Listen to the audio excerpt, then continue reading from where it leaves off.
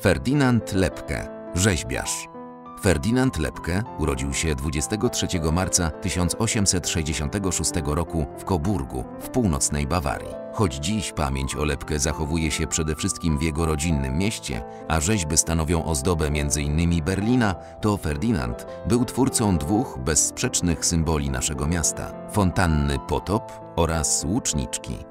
Projekt potopu przyniósł Lepkemu patent profesorski, a odsłonięcie jego bydgoskiej wersji stało się okazją do jedynego osobistego pobytu artysty w Bydgoszczy. Łuczniczkę zakupiło miasto urzeczone poprzednim sukcesem artystycznym.